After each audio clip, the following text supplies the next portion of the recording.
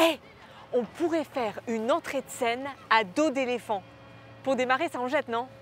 Nekefal, j'aime bien l'idée, j'aime bien l'idée. Ah bah oui. J'aime bien, mais maintenant... Et ben maintenant, Daouday à Pelzo. Ça va être incroyable.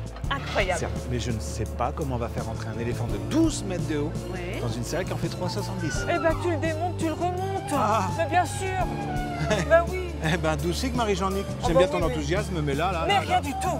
Arprichounier et Naonet. Donc on y va. On y va. On se retrouve à Nantes pour les prix choux, ça vous Oui. l'aurez bien compris. Avec ou sans éléphant, on verra. on verra. Avec l'éléphant. Les. Présios Avec. 2024, un événement à suivre jeudi à 22h45, On verra. suivi du concert de la chanteuse Kinkis. son